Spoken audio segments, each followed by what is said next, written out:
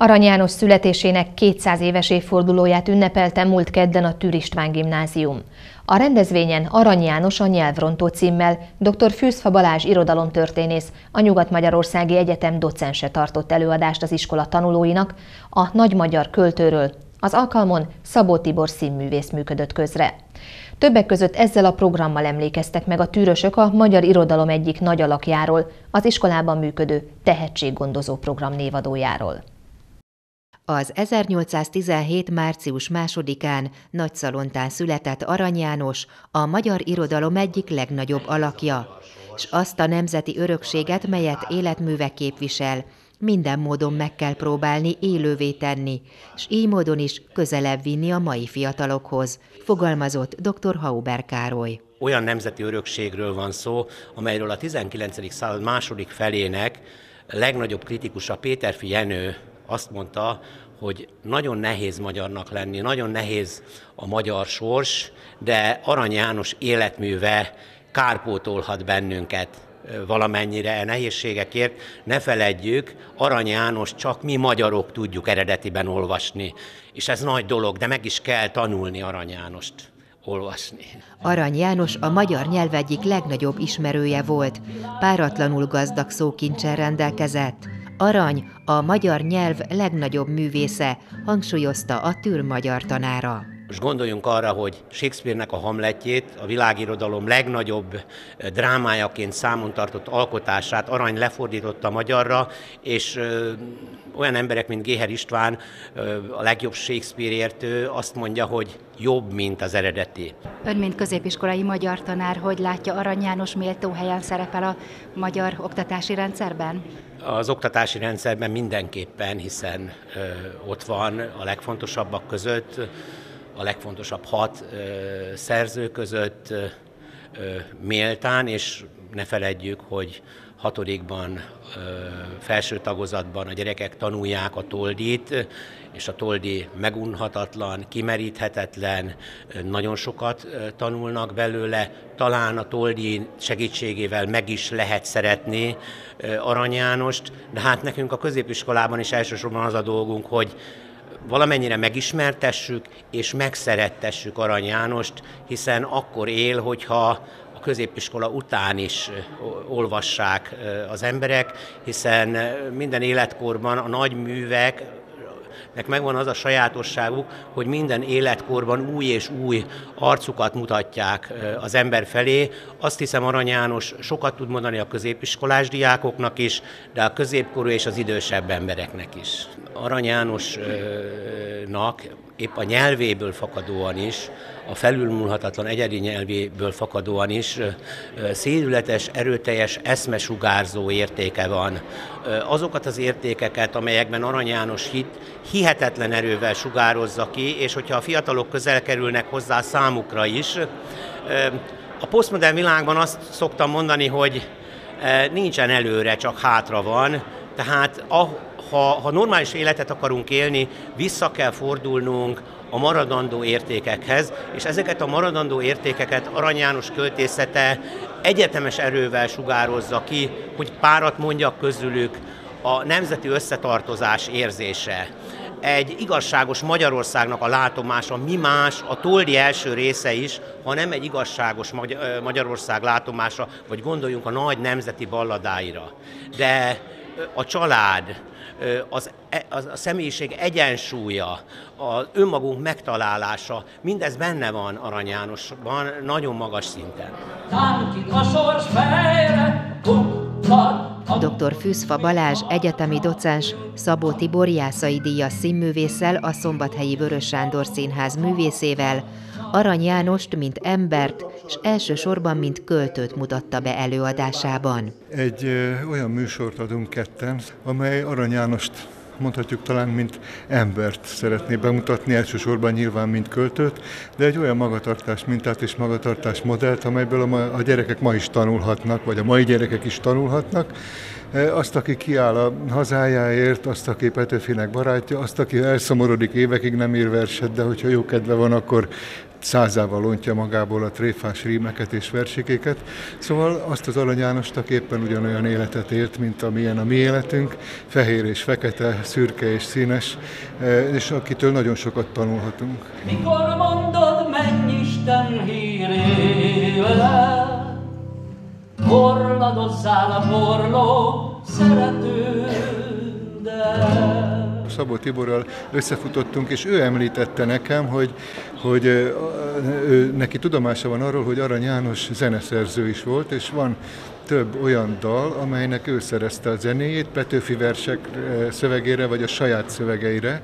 Ez nekem rendkívül megragadta a fantáziámat, és akkor találtuk ki ketten együtt, hogy csináljunk egy közös műsort, épp itt lesz a 200. évforduló, tehát egy éve, másfél éve kitaláltuk, és megvártuk a 200. évfordulót, úgyhogy most decemberben mutattuk be először ezt a műsort Répcelakon, és most van három előadás Pápán, és aztán utána lesz Szombathelyen Kőszegen, gondolom 8-10 előadás lesz belőle.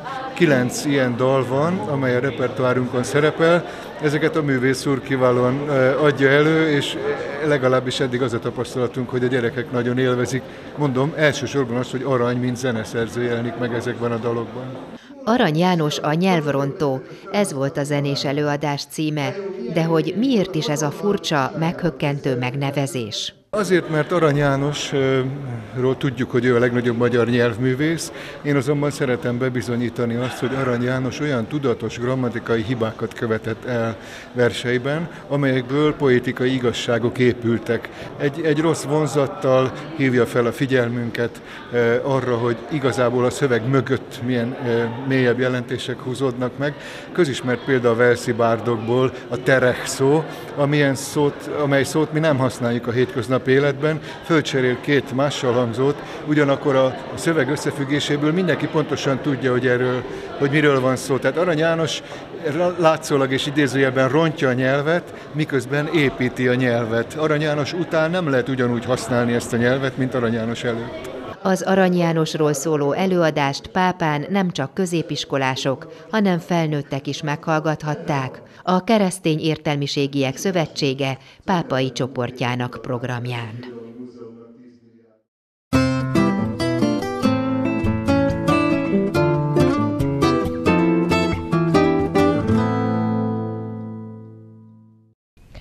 Sokan sokféleképp segítenek László Szabó Bencének és családjának.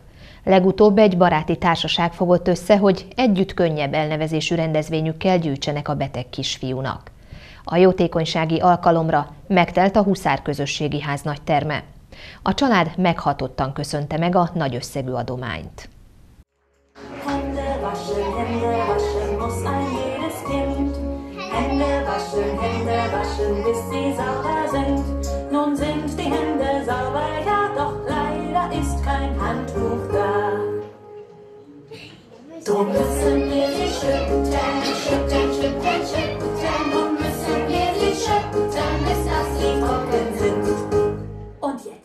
Az első fellépő a pápai városi óvodák Vajda Péter lakótelepi tagovodájának Rozmaring német nemzetiségi csoportja volt. Ők Bence ovistársai, akik azt is megmutatták, melyik német nyelvű mondókával kívánnak minden jót reggelente a kisfiúnak. De nem csak ők, minden fellépő örömmel vállalta a felkérést. Nagyon örültünk ismét a megkeresésnek, már másodszor lépünk fel a, a Renék által szervezett jótékonysági ö, műsoron. Én úgy gondolom, hogy mindenki, ahogy tud, segítenie kell, segítenie kellene, valahol ez kicsit személyes is, mert a Bence anyukája az én édesanyukámnak kollégája volt, úgyhogy nagyon-nagyon örültünk, hogy ismét eljöhettünk, és tudunk ezzel is egy kicsit segíteni.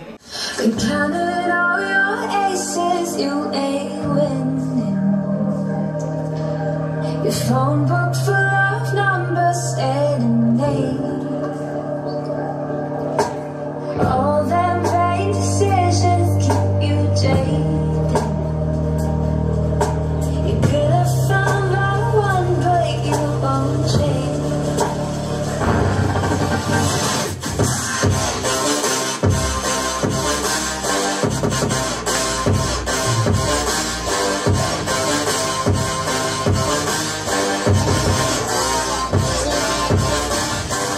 Kocsisné Varga Renáta, Horváth Orsolya, Molnárné Fejes Tünde, Köviné Dorogi Anita, Csernákné Német Éva és Molnárné Varga Anna Mária. Hat jó barát, akik, ha szükség van rá, szívesen segítenek. Ők szervezték meg a szombati jótékonysági alkalmat László Szabó Bence javára. Személyesen ismerjük szinte mindannyian a családot, úgyhogy szívügyünk volt, hogy Bencéért ezt a mai estét összehozzuk. A fellépők az első szóra mindenki jött,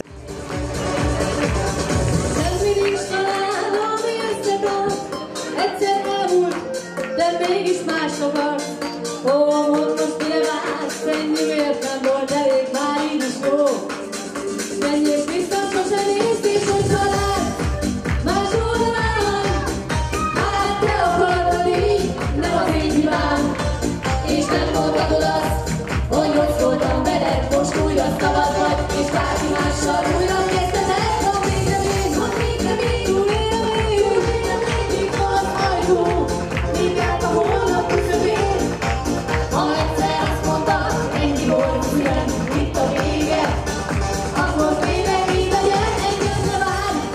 Az ovisok mellett felléptek még a jótékonysági alkalmon a Tánclánc Pitypang és Búzavirág csoportjai, Szűcs Kornélia, Tóth Tündi, a Black Bunny Rock and Roll Club, a Vati Fiúk, a Pápai Musical Stúdió és a Gráciák Trio. Egy picit személyesen is érintve vagyok ebben a dologban, az én kislányom egy csoportba jár ezzel a kisfiúval az óvodában, úgyhogy elsőként értesültünk erről a hírről, úgyhogy egyből fel is ajánlottuk a fellépésünket egy ilyen jótékonysági rendezvényre.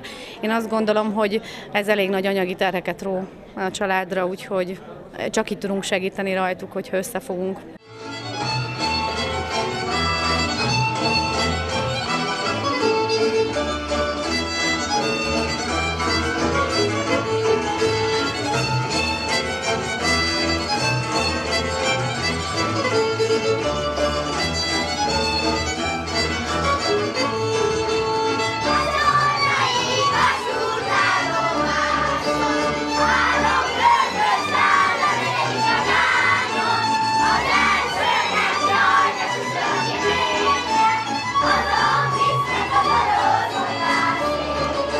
A jótékonysági rendezvényen ott voltak a családtagok is. Bence és édesanyja ugyan még mindig Budapesten van, de biztatóak a vizsgálatok eredményei.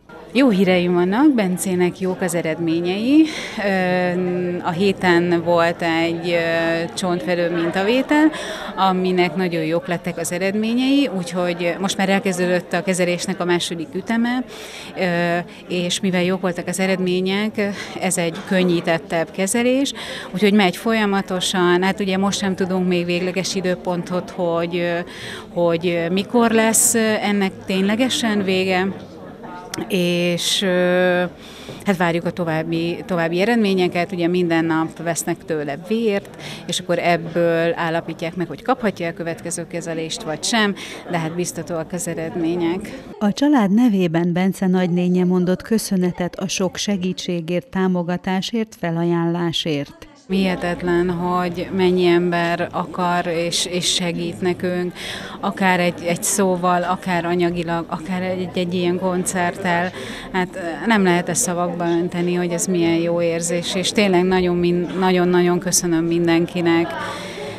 Nehéz lenne mindenkit felsorolni, úgyhogy most egy-két szervezőt, illetve segítőt hadd említsek meg. Szeretném megköszönni Pápaváros önkormányzatának a segítséget a Jókai Mór Művelődési és Szabadidőközpontnak, aki a helyszínt és a technikai lehetőségeket az előző koncertnél biztosította, a Pápai Lokálpatrióta körnek, a mindkét koncert szervezőjének és annak a tímnek, aki a főszervezők mögé állt, és mindenkinek, aki ahogy az előbb is említettem, szóban, anyagiakban és, és egyéb módon támogatta a családunkat. Köszönöm szépen. A jótékonysági esten közel 800 ezer forintot adtak át a családnak. Ez a belépőjegyek és a támogatójegyek árából jött össze, illetve hozzá adódott a Vajda Ovi gyűjtése is.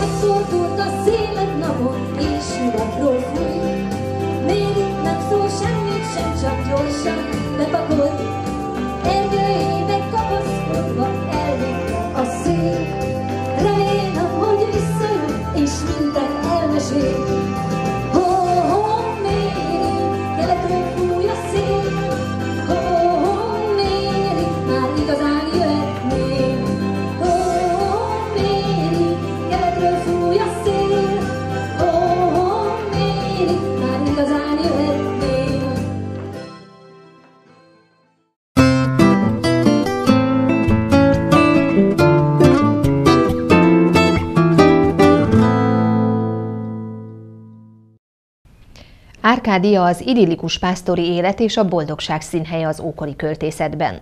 Ez a világ tűnik fel Marosi Dia festőművész képein.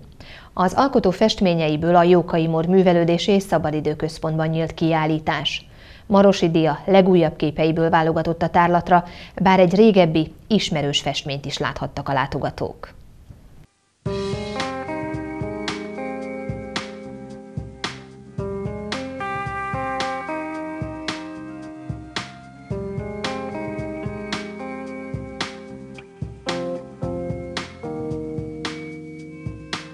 Először én nagyon-nagyon sok szint és harsány színeket használtam, sok szint, és tudatosan próbáltam meg ezeket így lecsillapítani. Aztán egy kicsit a, a, az ecsetkezelés is finomodott, most nagyon szeretnék visszavadulni, egy kicsit azért felszabadulni, szóval túl tudatosan építem fel a képeket. Egy kicsit az úgy bezár, szeretnék ebből egy kicsit felszabadulni. Úgyhogy az újabb képeken már azért látszik, hogy egy kicsit szabadabbak itt ezek a gannai képek, de hát azért majd lassan-lassan. ez folyamatos, igen, nem? Igen, ez egy állandó folyamat. Tehát az ember, ha csinálja, akkor mindig új dolog jön elő. Tehát akár technikai dolgok, akár témában adja magát a következő kérdés vagy felvetés. A Labirintus című kép volt az, amivel Marosi Dia 2012-ben bemutatkozott városunkban a pápai tárlaton. A művész az azóta eltelt években volt ugyan alkotói szabadságon, de leginkább tanítás mellett jutott csak ideje a festésre. Jelenleg a Refi képzőművészeti tagozatának tanára egy pápa közeli kisfaluban él családjával, a hely ihlette az ősi mitológikus Árkádia hangulatát idéző képeket. Érintetlen táj, egy már-már mitológikus táj, ami, ami körülvesz ott minket, és hát akár a természeti környezet, akár, akár az emberi környezet is egy ilyen nagyon erős és nagyon pozitív, arhaikus közösség és, és hát környezet, ami nagyon jó, tehát ami, amit mindig is hiányoltam az életemből.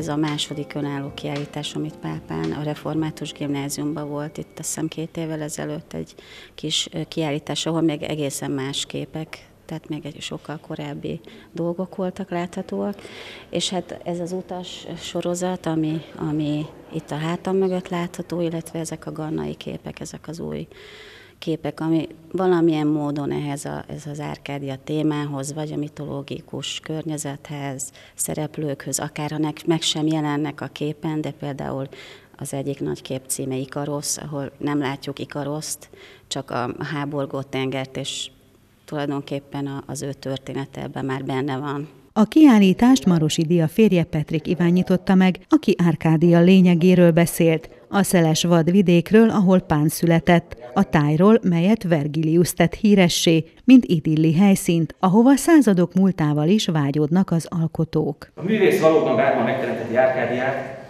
a jó művész úgy teszi ezt, hogy megérezzük, megértjük az átütő Árkádia tapasztalatot. Az igazán jó művész pedig, mint egy mágikus idegenvezető, valóságos tapasztalatainkra megmutatja meg a vidéket, ahol a jól, ismer, ahol a jól ismert dolgok lassan és csodálatosképpen átértelmeződnek, és eloszlik minden kételj a felismerés nyomán, hogy tényleg Árkádiában élek én is. Nem csalás, nem ámítás, hanem az igazán fontos életmentő dolgok felmutatása, a világértelmezés legelemibb szükségszerűsége, amire leginkább mégiscsak a művészet képes. A fikció, a teremtett az újra és átértelmezett valóság, a mítosz inspiratív találkozása, természetesen nem a koncasztalon, hanem jelen, jelen esetben a nagyon is valóságos gombokon.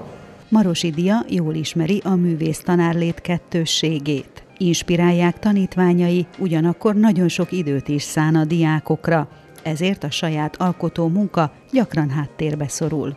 Hát nagyon nehezen férnek egymás mellett, ugye bizonyos szempontból inspiratív, ugye, mert főleg, hogy művészeti tagozaton tanítok, és hát kollégákkal, ifjú kollégákkal vagyok körülvéve, akiknek nyilván ö, hasonló a gondolkodásuk, ők is képeken gondolkodnak, csinálják, tanítjuk egymást is, mert én is tanulok tőlük nagyon sok mindent, meg hát próbálok ugye tényleg mindent átadni, amit én tudok, és hát biztos, hogy valami, valamit sikerül, mert nagyon szép fejlődéseket látok, tehát nagyon szép utak vannak itt kialakulóban, de idő az, ami kevés, és hát ugye ez a nyár, ami marad az alkotásra, és hát ezzel nem én vagyok egyedül, tehát Katona György, festőművész kollégám is, meg hát mindenki, Kerpel Péter, mindenki hát küzd ezzel az időhiányjal.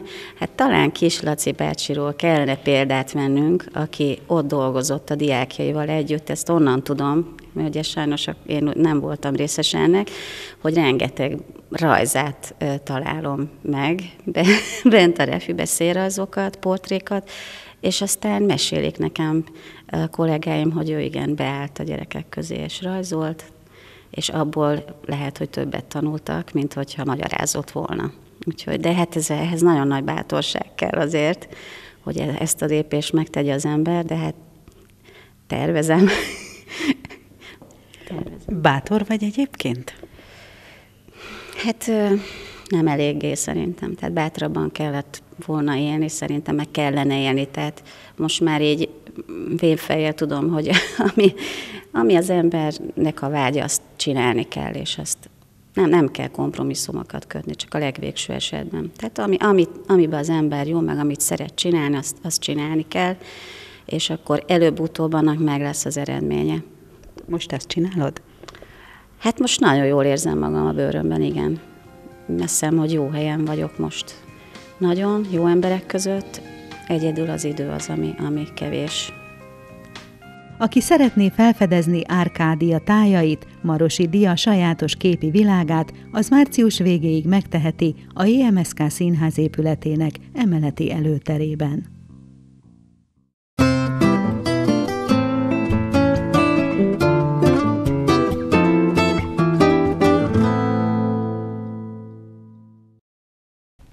Ebben az esztendőben is több száz nyugdíjas vett részt a Pápai Nyugdíjasok Érdekvédelmi Érdekképviseleti Egyesületének nőnapi rendezvényén.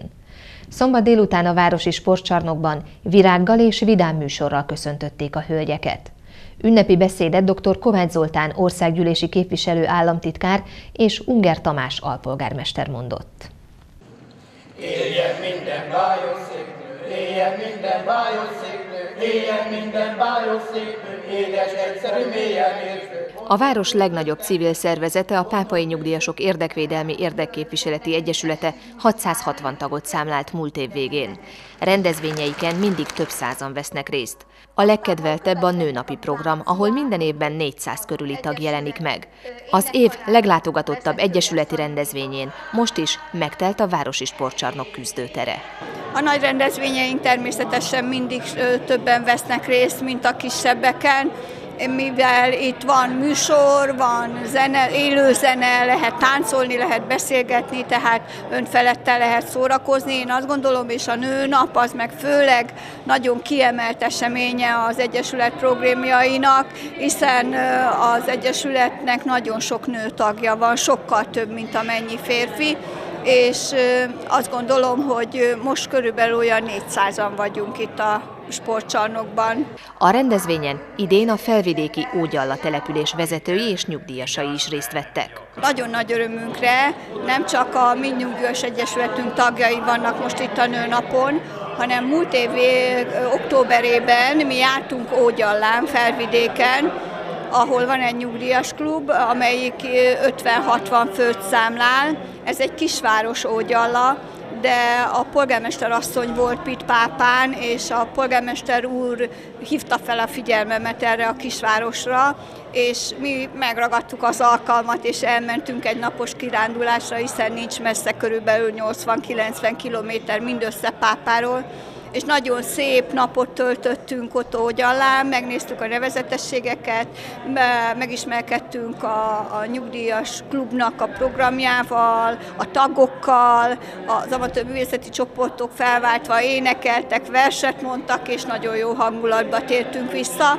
és ezen a napon hívtam én meg a nyugdíjas klubot, hogy jöjjenek el nőnapra ide pápára hozzánk, hiszen ők még nem voltak nálunk, mert tudtam, hogy itt a sportcsarnokban tudunk egyedül olyan rendezvényt e, létrehozni, ahol többen elférünk, és nagy örömünkre ma reggel meg is érkeztek, megmutattuk a kicsit a várost, és megebédeltek, és akkor úgy jöttek ide le most a nőnapra, de eddig úgy éreztem, és ahogy elmondták nekem, ahogy jöttek ide sportcsarnokba, hogy, hogy nagyon-nagyon meg vannak elégedve, és azt mondták, hogy alig várják, hogy visszajöjjenek pápára, pedig még nincs is vége a napnap.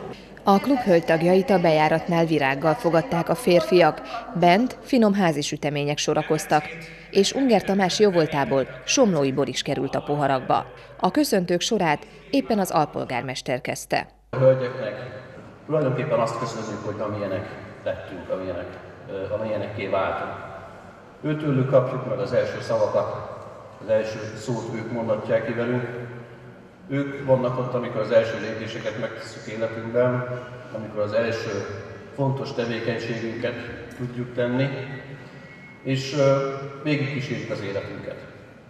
Én itt ezen a helyen mindannyiuknak szeretném megköszönni, hogy itt vannak, minden hölgynek szeretném megköszönni, hogy az, aki minden nagymamának, feleségnek, lánynak, asszonynak köszönöm, hogy az, aki, és kívánom azt, hogy maradjanak is így. A rendezvényen dr. Kovács Zoltán országgyűlési képviselő államtitkár is köszöntötte a nyugdíjasokat, és beszélt a hölgyek fontos szerepéről a családban és a társadalomban. Minden ilyen alkalomkor mi férfiak csodálattal adózunk a hölgyeknek, akármilyen korban vannak. A kicsi korba azért, mert a lányunk, és elbűvöl bennünket, ha nagypapák vagyunk, akkor azért, mert levesz bennünket a lábunkról, ha fiatalok, akkor a szerelmükkel igéznek meg minket, amikor érett hölgyek, akkor a tartalmas család élet összetartó ereje, és amikor szépkorúvá lesznek, akkor a tisztes öregkor szeretetben, békében történő egymás mellett élését adják nekünk férfiaknak. És azt gondolom, hogy ez egy életív, amelyben minden benne van, ami a hölgyek iránti tiszteletről szólhat. Az ünnepi műsort az Egyesület férfi tagjai adták, majd a gráciák léptek fel. Kedves, nagyon szeretett hölgyeim! Ünnep ez a mai nap. Azt ünnepeljük, hogy ti vagytok nekünk. Hiszen ti teszitek szebbé és tönkre az életünket. Ti emeltek a magasba, és tapostok a homlokba. Ti adjátok és veszitek az összes erőnket. Ti vagytok nekünk a nyugtató és felizgató balzsam. Ti vagytok hátunkon a pup. Ha nem vagytok, akkor az őr. Ti vagytok, akikért és akitől reszketünk. Ti vagytok nekünk a színes és szintelen valóság. Ti vagytok nekünk a kezdet és a vég. A jelenlévő férfiak nevében azt kívánom, hogy a köztünk kialakult kapcsolat tartós legyen. Szeressétek tovább is bennünk a szerethető férjet, a megértő barátot, a jó havert, és így még sok-sok-sok meglepetést fogtok nekünk szerezni, és örömet, így lehetett hozzánk méltók, de főleg egyenrangúak velünk. Kellene ma éjjelre kis hatszári, hatszári, ha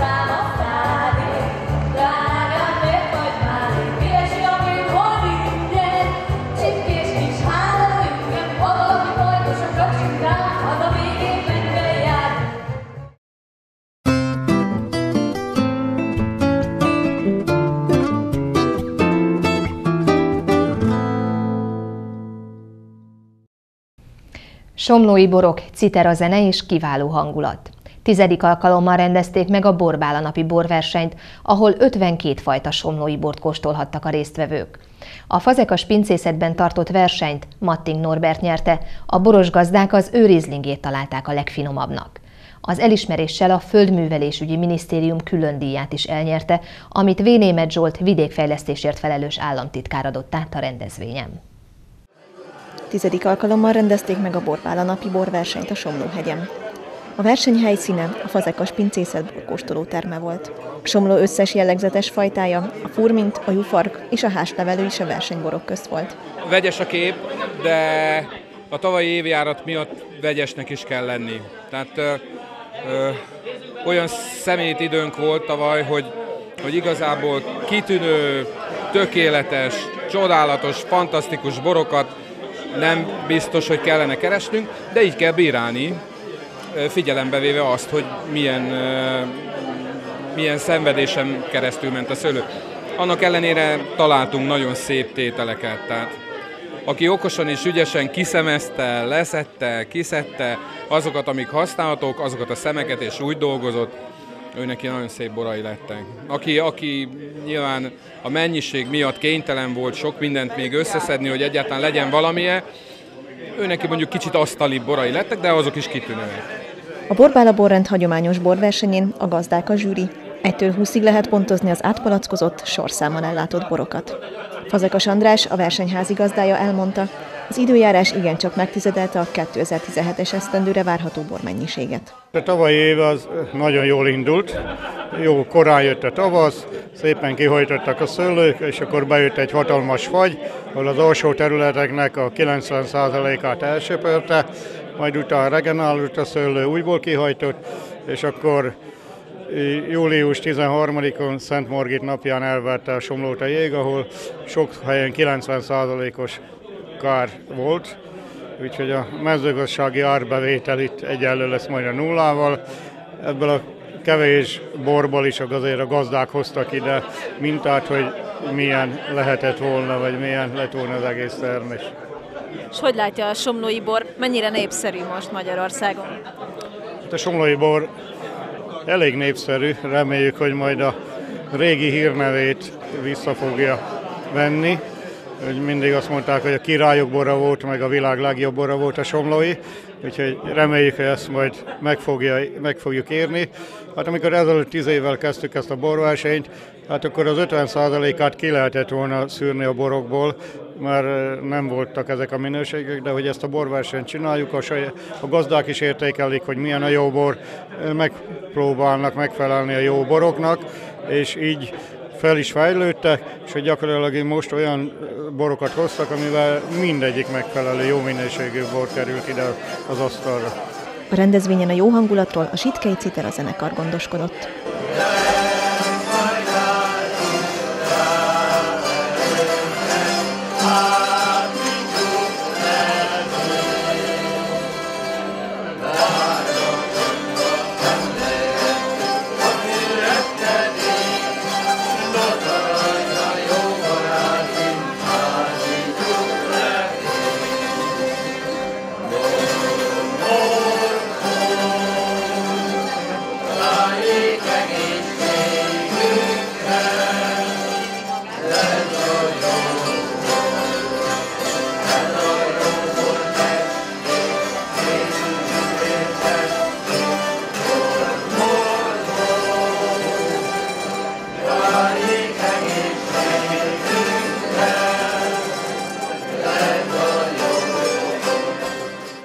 Versenyt Matting Norbert Riesling nyerte, ami 18,9-es átlagpontszámot kapott a zsűritől. Emellett aranyminősítést szerzett még Szalai Antal furmintja, Sebesté János vegyes fehérbora és a Levino Kft. farkja. A nyertes bor a Földművelésügyi Minisztérium külön díját kapta, amit V. Német Zsolt vidékfejlesztésért felelős államtitkár adott át.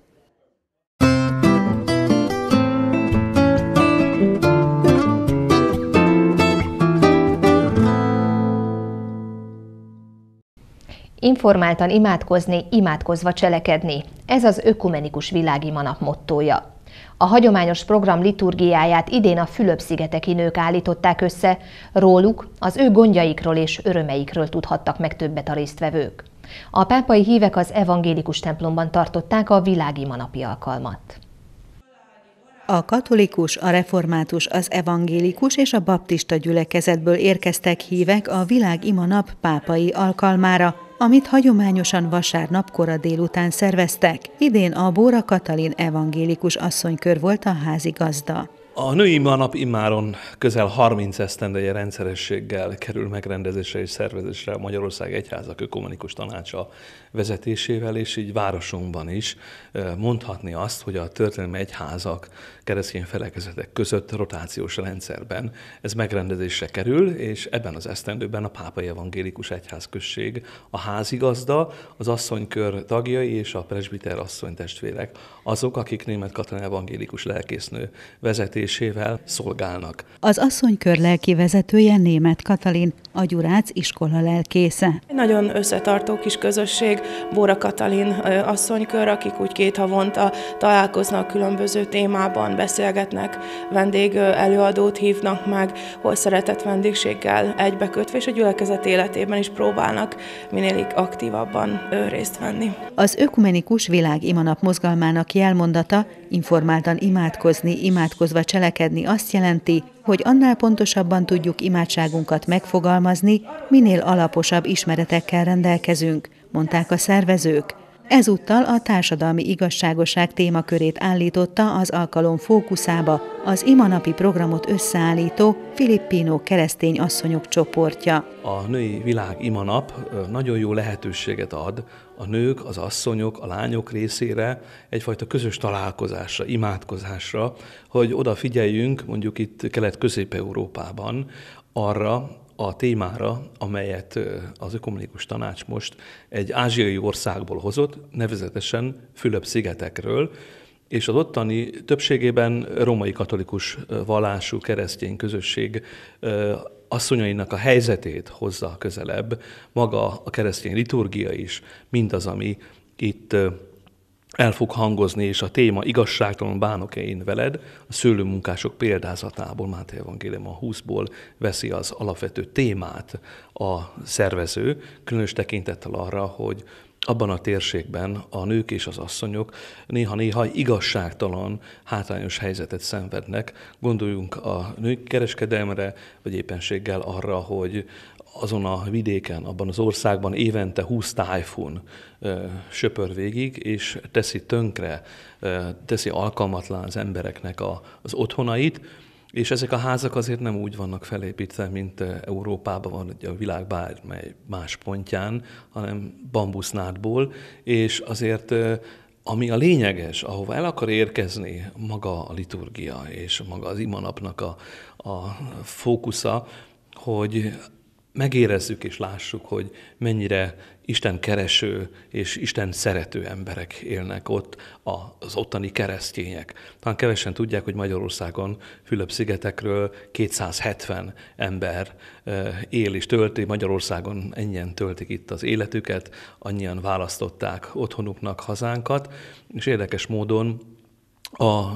az ottani keresztények, a, a filippínó keresztények, ahogy az irodalomban ezt olvashatjuk, a mélységes hitüket, az Istenbe vetett hitüket élik meg, annak ellenére is, ha például egy ilyen tájfun, mint 2013-ban is tönkretett családoknak százait, ezreit, és az otthonukat, mert hát ezért dolgoztak ők is, és a szűkebb otthonuknak a tönkretétele nem egy elkeseredést hoz az ottani keresztények életében, hanem még inkább erősíti az Istenbe vetett bizodalmat, és ami a liturgiában is azért olvasható, hogy kérik és érzik a Szentléleknek a munkáját az adott keresztény közösségben. A pápai alkalmon német Katalin hirdetett igét a megadott Máté evangéliumából vett gondolat kapcsán, így lesznek az utolsókból elsők, és az elsőkből az utolsók. Mindegy, hogy ki mikor tért az Istenhez meg, ki mikor kezdett el szolgálatba állni, akármelyik gyülekezetben is, de attól függetlenül az Isten az üdvösséget szeretné, és azt szeretné, hogyha mindannyian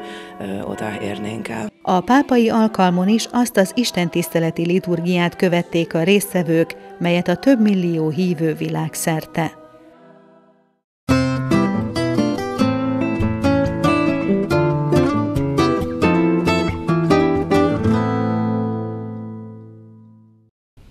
1987-re nyúlik vissza a pápai zenészek találkozója, melynek keretében 20 éven át minden évben összegyűltek a szórakoztatóipar ezer részében dolgozók egy-egy estére. Az utolsó ilyen összejövetelt 2007-ben tartották, és most tíz év után újra találkozóra hívta zenész kollégáit Magyar Ijenő, Füredi Gyura és Lajos, Német Zoltán és Tubán Gyula. A remek hangulatú Retro Jam estet pénteken este tartották az egyik belvárosi étteremben. 1987-ben a Hobby Együttes emlékfellépése után indult el a Jam Session névre keresztelt zenész találkozó, mely aztán 20 éven át évente egy-egy estére összehozta a pápai zenészeket. 1990-ben már vendégkönyvet is vezettek, benne több tucat név gyűlt össze minden alkalommal. A sorozat 2007-ben ért véget, és most 10 év után Retro Jam néven indult újra. Március 3-án megtelt zenészekkel a Gambrinus étterem, Magyari Jenő, a rendezvény egyik szervezője pedig elégedetten tekintett körbe kollégái között. Mi volt a cél, és most mi a cél? Hogy, hogy minden évben egyszer összejöjjünk, jól érezzük magunkat, és, és azért, hogy jam session, különféle formációkban zenéljünk. Nem zenekarok zenéltek, hanem összeálltak, és jó kedvű a hangulat, találkozni, egész éven át mindig zenélünk, és mindig akkor zenéltük, amikor másik. Soha nem volt arra alkalma, hogy igazán jó, kiveszélgessük magunkat, szórakozunk. Jól látszik, hogy minden osztana egyet zenekarú, szinte egyet zenekarú, a barátokkal, a feleségekkel. Nincs féltékenység a zenészek a zenekarok között?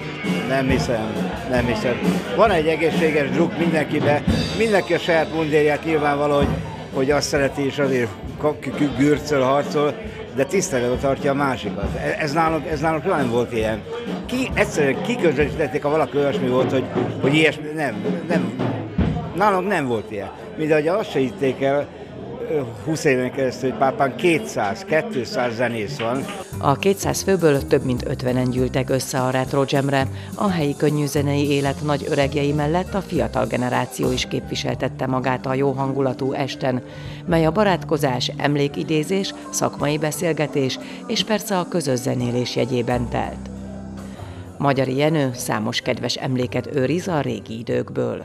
1970-től 76-ig én az utódokkal élhettem el szerencsére komoly sikereket, és utána a hobbi együttessel fejeztük be 86-ban. Az nagyon szép évek voltak az is. Utódoknál ott ugye nagyon érdekes volt, mert két éven keresztül vidék legjobb zenekara voltunk. Rengeteg helyi volt klubunk. Kesszelyen, Zánkán. Zánkán nyáron meg, megőrült a rendőr. Megbolondult a rendőr, hogy mindig 80-100 ember jött utána, akárhova mentünk. Egyetemeken, főiskolákkal játszottunk, Győrbe volt klubunk, Keszthelyen volt, Zákán volt, Balatonfüreden országos fesztivált nyertünk, és a többi. Készültünk külföldre, meg egyéb terveink is voltak, de ez nem jött össze. Fogsz-e még hangszert manapság? Igen. E, igen, és ráadásul szívesen, de inkább alkalomszerűen. A Retro jam találkoztunk Piller Károlyjal is, aki annak ellenére, hogy több évtizedes zenész múlttal büszkélkedhet, most először vett részt a zenész találkozón. Pont abban, a, pont abban az időben zajlott nekem a, a, a színházi élet, és én akkor, akkor lényegesen kevésbé foglalkoztam a, a zenekari zenéléssel, és az ő látószögükből is kiestem, meg az én időm is egy kicsit olyan volt, hogy, hogy nem jött össze, de nagyon sajnáltam, és most nagyon örülök, hogy itt lehetek. Zenekar tagként van múltbéli élményed? Tehát voltál zenekari tag? Igen, természetesen többféle formációban zenéltem. Annak idején a városban volt egy híres jó nevű zenekar, a B-menü, aminek alapító tagja voltam.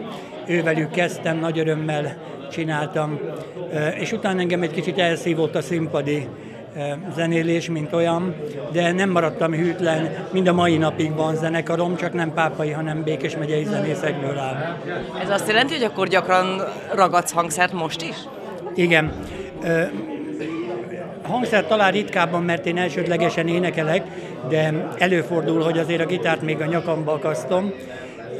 Főként az éneklés az, ami az én szívemhez közel áll, de ami a számomra a legnagyobb boldogság volt, az az, hogy az nekem már kevésbé fontos, hogy én énekelhetek valahol, de az, hogy a gyermekeimből alakult zenekar követett a színpadon, ez egy, ez egy fantasztikus érzés. A Szilinga együttes, amelyben két fiam is és az unokahugom vesz részt, mondhatjuk azt egy kicsit, hogy családi zenekar. És hogy van-e ma igény még az élőzenére, bálokra, bulikra, zenekarok fellépésével? A zenészek szerint igen.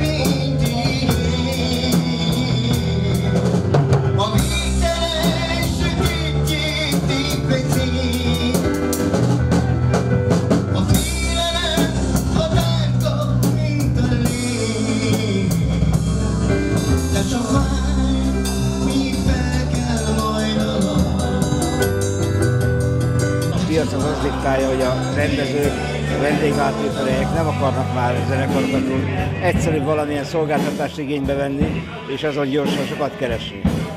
De, de, de mégis van igény az élőzenére, és pontosan ez motivált bennünket, hogy ez pótolhatatlan.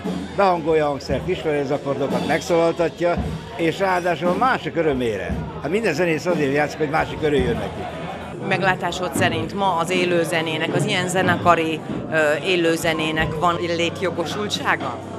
Én azt hiszem, hogy egyre inkább van, és pont annak örülök, hogy az akusztikus jellegű zene, zene mint olyan újra előtérbe kerül. Hosszú időn keresztül a gépzene, szintetikus zene uralta elsődlegesen a, a piacot, és a 80-as években, amikor mi Csetamás nyomdokain haladva gitárt ragadtunk, és a tábortűz mellett nagy vehemenciával énekeltük a, a, az ő és egyéb más Dinnyi és Jóska és, és egyéb híres szerzők dalait, ez egy kicsit alább hagyott, és én nagyon örülök, hogy ma újra trendivé vált az, hogy, hogy hangszerekkel, élőzenében, nem playbackről, valódi hangok, valódi hangszereken szólalhatnak meg. A Retro Jam kiváló hangulatban zajlott, és természetesen a közös éneklésen maradt el a késő estében nyúló zenész találkozón.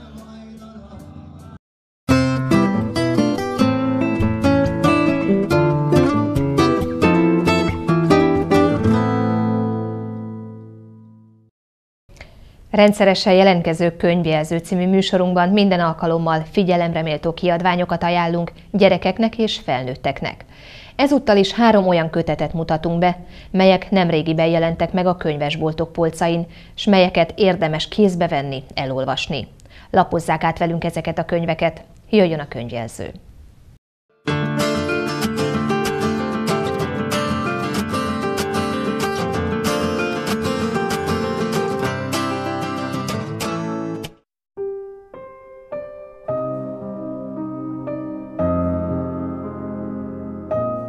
Itt a könyvelző benne három új kiadvány. Róma az élő történelem és az eleven tudományok városa. Ez jelenik meg étkezési kultúrájában, ételei izgalmas sokféleségében és változatosságában. A mai Róma konyhája című könyvben Eleonora Galasso, gasztronómiai író, blogger és Instagram sztár fogja a kezünket, és kalauzol végig az örök város rejtett égkövei, az ódó lakóházak, a macskaköves mellékutcák, a palazzók és a ma is élő gasztronómiai hagyományok világában. A kötetben a gyors és egyszerű reggeliktől, a találékonyan rögtönzött ebédekig és a romantikus vacsorákig minden alkalomra találhatunk megfelelő receptet. A könyvet rendkívül sok szép fotó illusztrálja. A mai Róma konyhája című kiadványt háziasszonyoknak ajánljuk, a könyvet a Korvina könyvkiadó adta ki. Ha szeretjük a növényeket, de nincs idejünk kertészkedni, vagy nincs helyünk egy igazi kert kialakításához, akkor készítsünk floráriumot. Ebből a könyvből megismerhetjük a kis kertecskék izgalmas világát. Építhetünk belőle egyedi stílusú, különféle formájú üvegekbe zárt minikerteket.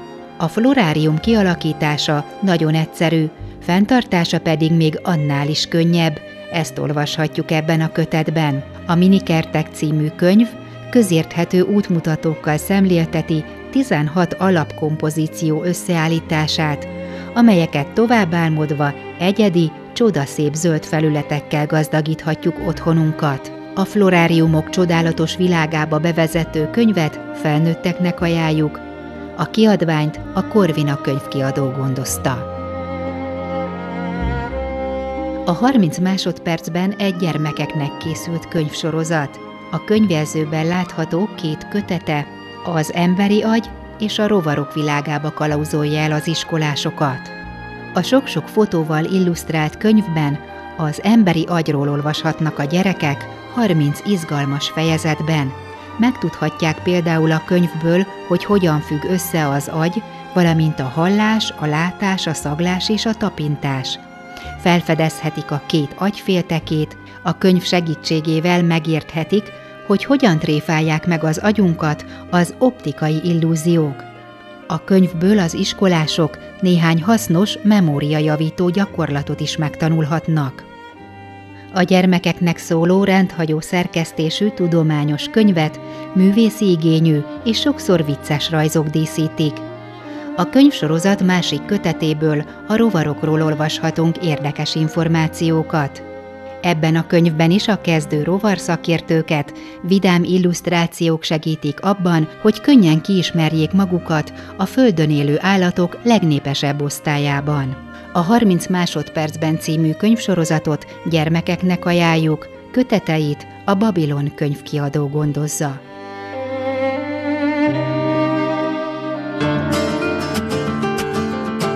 Műsorunkat a Lira könyvesbolt támogatta.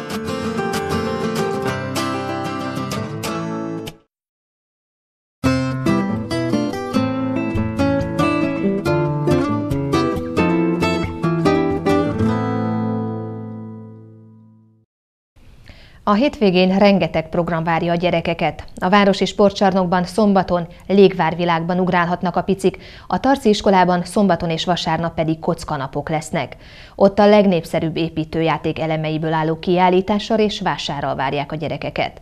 Vasárnap pedig papagáj kiállítás lesz a színház épületben. Ezeken a programokon kívül persze több más esemény is zajlik a városban. Hogy melyek ezek, megtudhatják a programajánlóból.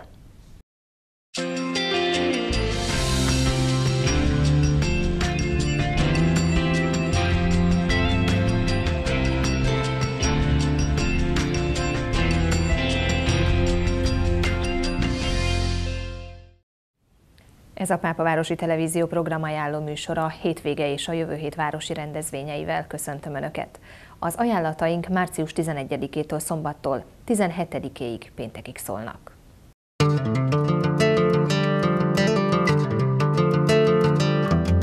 Március 15-én újra kirándulni indulnak a JMSK bakancsos természetjárói. A célállomás Ganna lesz, ahol a Táncsit szobrot és az Eszterházi manzóleumot nézik meg aztán a Gannai dombokon át Döbrön tére sétál a csapat. A bakancsosok szerdán 10 óra 35 perckor indulnak az autóbusz pályaudvar kettes kocsi állásáról, vissza 3.45-kor jönnek Döbrön téről. A kiránduláson mindenki csak saját felelősségére, gyermek, diák, szülői felügyelettel vehet részt. Március 15-én szerdán az 1848-49-es forradalom és szabadságharcra emlékezik a város. A program a március 15-e téren 9 óra 40-kor toborzóval kezdődik, majd 10 órakor Polgárdi Imre, a Veszprém megyei önkormányzat elnöke mond ünnepi beszédet. A március 15-i műsorban Tolcsvai Béla Kossuth díjas gitáros énekes zeneszerző, Nemcsák Károly Jászai Mari díjas érdemes művész és a Pápai Vadvirág Művészeti Egyesület működik közre. Az ünnepi műsor után kerül sor Pápaváros önkormányzata által alapított kitüntetések átadására. Az eseményre minden érdeklődőt szeretettel várnak. Március 11-től szombattól április 7-éig tekinthető meg a Hónap Alkotója című kiállítása a JMSK Színház épületének földszinti előterében. A tárlat ezúttal Zsuppán István művész tanáralkotásaiból válogat. Az emeleten pedig Marosi Díja festőművész kiállítása látható. egészen március 31-éig. A tárlatok hétköznap 9-től 20 óráig, illetve rendezvényhez kötöttel látogathatók. A Deák Ferenc utcai Petőfi moziban a következő hét napban is több filmet vetítenek. Látható lesz többek között a Logan a Farkas című cifi, a T2 Transpotting című filmdráma, vagy a Szólít a Szörny című amerikai fantasy. Ez utóbbiból íme egy kis előzetes. Jól van, készen állsz. Felvétel indul. Ez milyen szín? Barna. Igen. Talán, ha fogunk egy ceruzát, és rajzolunk egy arcot, meglátjuk az életet a szemeiben. Az élet mindig a szemekben van. Itt a szörnyed. Hogy kezdődik a történet? Egy fiú, aki túl öreg ahhoz, hogy gyerek legyen. Hozzám fogsz költözni. Ne nyújj semmihez. És túl fiatal ahhoz, hogy férfi legyen. Én már nem is látlak. Te mit tennél?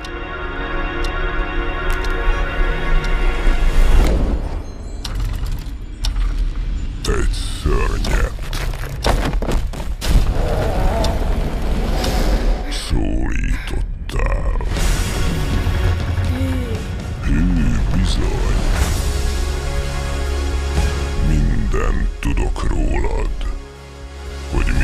Titkot rejtegetsz. Hogy miről álmodsz. Sajnálom, hogy ezt kell átélned, de most bátornak kell lenned. Érted, kisfia? Mit pusztítsak el legközelebb? Törd be az ablakot! Törd be magad! Megértem, hogy dühös vagy. Én is az vagyok. És ha úgy érzed, törnöd zúznod kell, tedd meg az Istenért.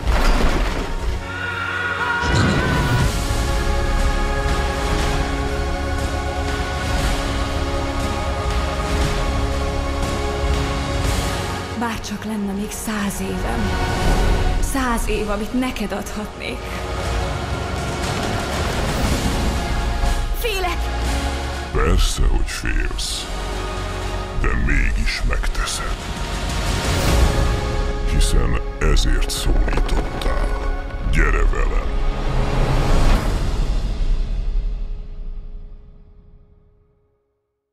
A Petőfi Filmszínház részletes műsorairól a Petőfi mozi Facebook oldalán, vagy a nyomtatott mozi műsorból tájékozódhatnak.